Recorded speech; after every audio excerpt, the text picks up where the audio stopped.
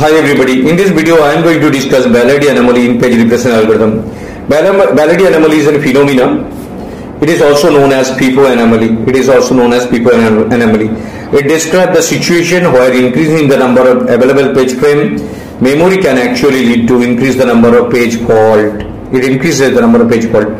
It is normal that if we increase the number of frame, page fault rate decreases.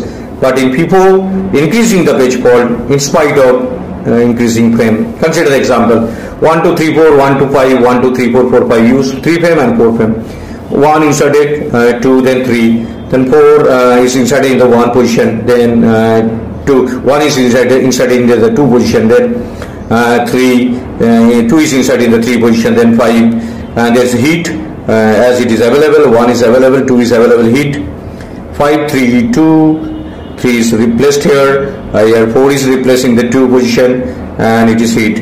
Number of uh, page fault 1, 2, 3, 4, 5, 6, 7, uh, 8, 9. So number of page fault equal to 9. Now uh, increasing the number of frame 4, 1, 1, 2, 3, 1, 2, 3, 4. 1 is heat as it is available, 2 is heat.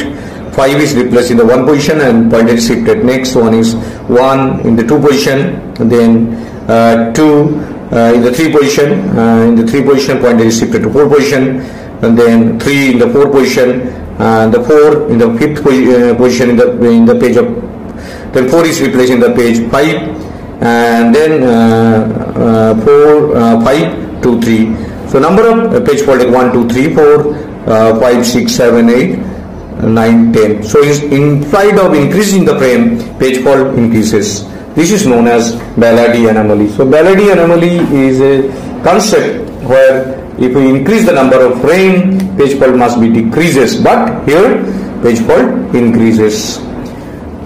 In case of 3, number of page fault is 9. You can you have to remember this page number 1, 2, 3, 4, 1, 2, 5, 1, 2, 3, 4, 5. Here the number of page fault is 9. But in, in spite of increasing 4, page fault also increases here.